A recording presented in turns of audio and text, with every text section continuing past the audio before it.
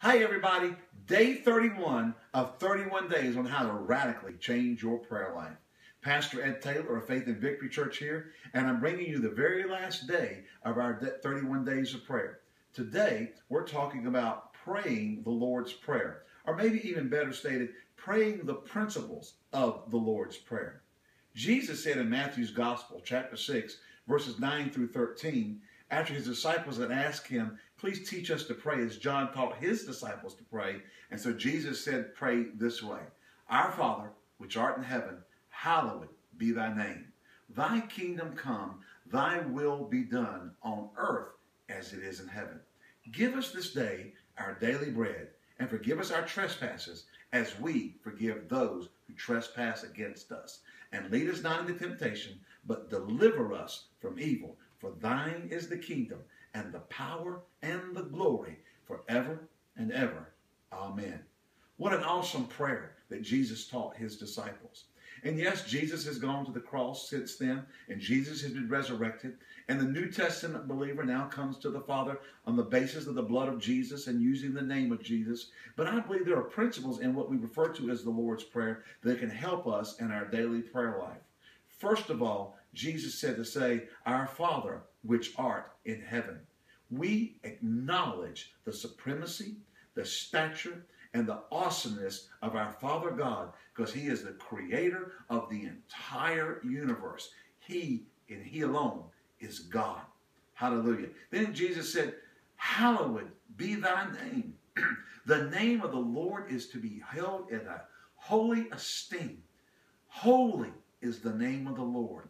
The name of the Lord is a strong tower that we are to speak the name with a reverence and an awe and a respect and not flippantly or lightheartedly.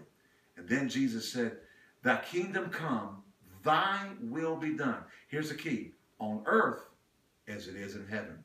God wants us to experience, as the book of Deuteronomy says, days of heaven on the earth. He wants the will of the Father wrought in our lives so we're experiencing the blessings of heaven and the power of heaven even while we're still here on this earth. Then Jesus said, Pray this way Give us this day our daily bread.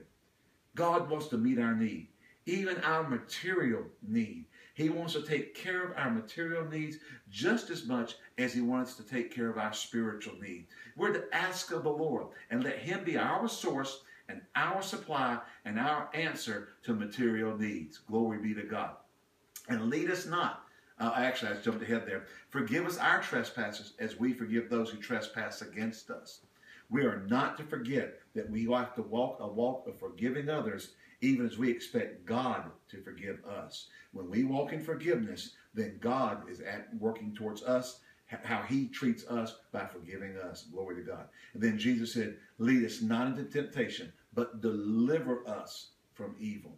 You know, it's interesting to me that so many people think that God leads them into evil and terrible circumstances. When Jesus told the disciples to pray, that the Father would not lead them into evil, and he, uh, from, uh, and he would temptation, but he would deliver us from evil. Then he went on and said, For thine is the power and the glory forever and ever. We can never take the, credit for what God does. We can never take credit and take his glory away from him. He is the glorious and all powerful Father, and we must recognize that. Praise the Lord. I hope you've enjoyed these 31 days as we've gone through all these different aspects. I trust that they've been a blessing to your life. I trust that they've helped you in your prayer walk and prayer life, and it's radically transforming your ability to approach the Father and get things done for the kingdom and have things working in your life in your arena of prayer. So, God bless you. Thank you for tuning in over these 31 days, and we speak the blessing and peace and the glory of God over your life in Jesus' name. If you would like to be able to contact us, you can reach us at Faith and Victory Church um, on the internet at www.fvc.org. Our phone number is area code 336 852 0088. If you live in the Greensboro area, please come join us and visit Faith and Victory Church. We'd love to have you and, and be able to minister life to you. Until we see each, each other again, may God's richest and best be yours. Amen.